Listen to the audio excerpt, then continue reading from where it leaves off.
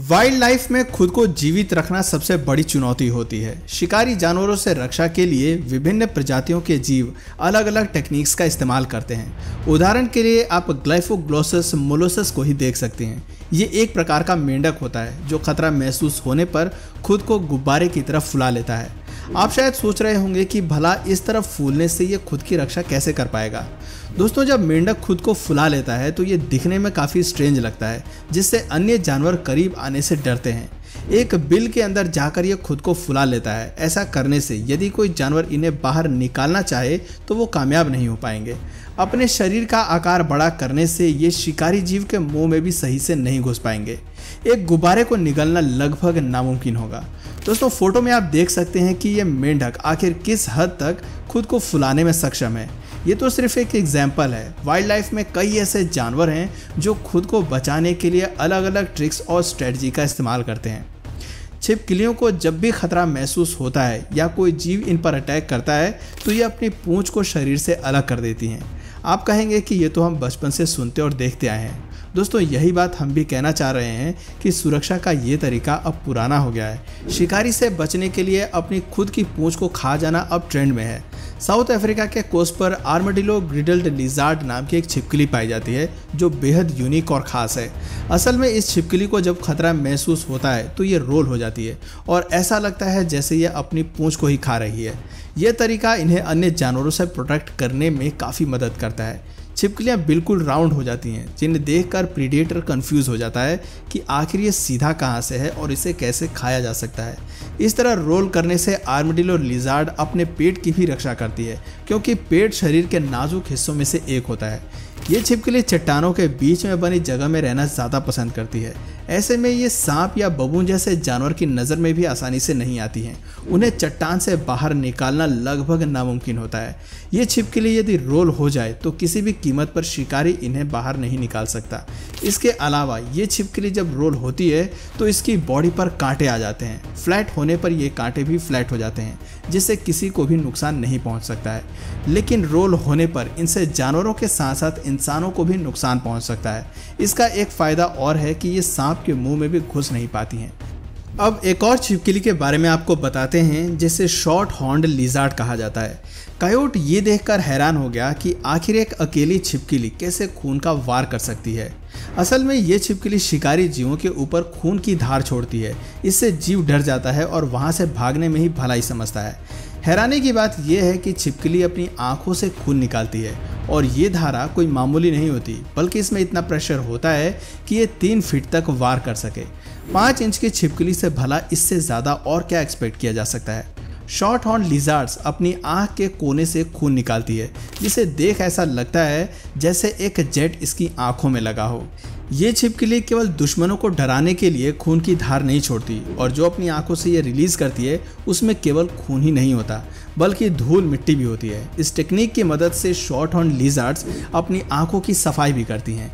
इससे खून का स्वाद भी बहुत वाहियात हो जाता है। यदि कोई जीव इस खून को चखता है तो उसका पेट भी खराब हो सकता है। आमतौर पर कुत्ते या फिर कायोट ऐसा करते हैं।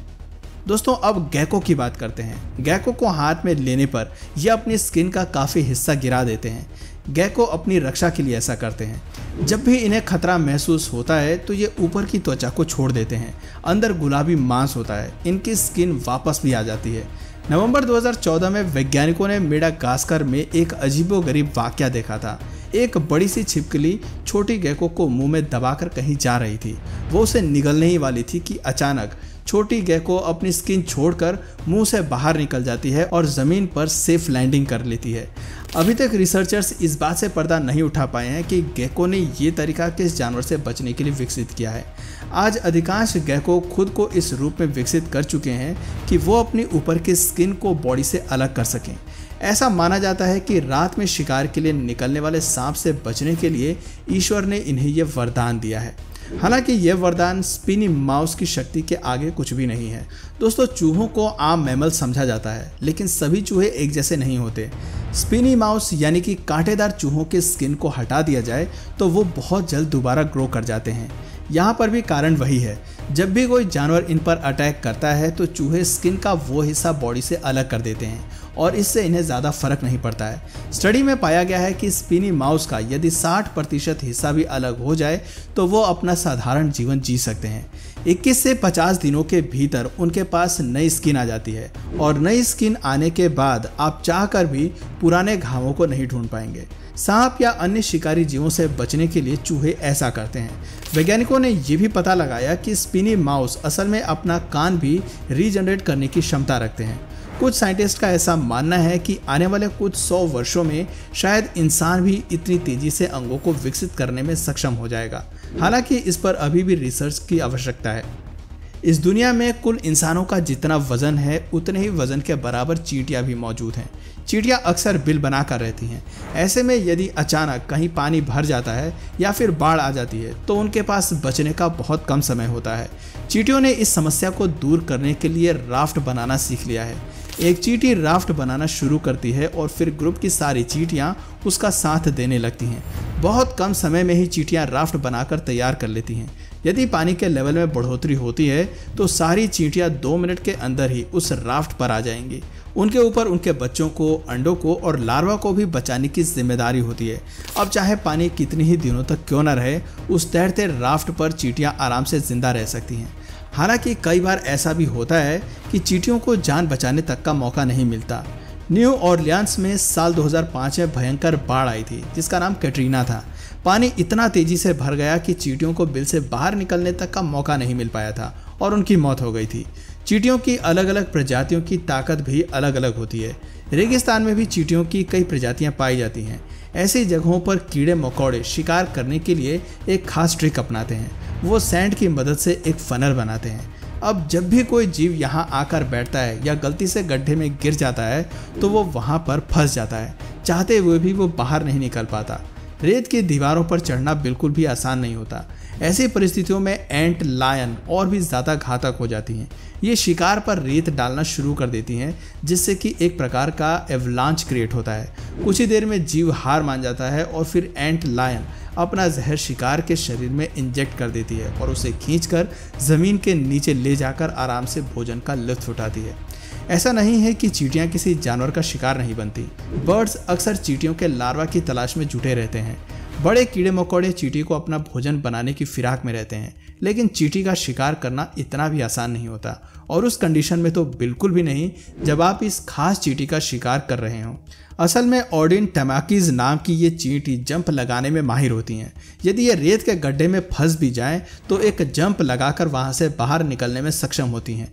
इनके मैंडिबल्स यानी कीट मंडियाँ भी बहुत ताकतवर होती हैं। ये 525 फीट प्रति सेकंड की रफ्तार से शिकार पर वार कर सकती हैं। चीटियों के अलावा कुछ बड़े जानवर भी जंप लगाने में उस्ताद माने जाते हैं। गैजल, जो हिरण की एक प्रजाति होती है, ये अपने चार पैरों का इस्तेमाल करके जंप लगाते हैं। इससे ये कई फीट लंबी छलांग लगाते हैं और इनके भागने की रफ्तार बढ़ जाती है। यदि बाघ, शेर या चीता इनका पीछा कर रहे होते हैं तो वो एक समय पर आकर हार मान जाते हैं। देखा जाए तो ये दोनों ही जीवों के लिए बेहतर रहता है। ऐसा करने से हिरण किसी का भोजन करने से बच जाता है तो शिकारी जानवर उस जीव पर अपना समय व्यर्थ करने की बजाय आसान टारगेट ढूँढने लगता है। तो दोस्तों, आपने देखा कि आखिर वाइल्ड लाइफ में सर्वाइव करने के लिए जानवरों को कितने पापड़ बेलने पड़ते हैं।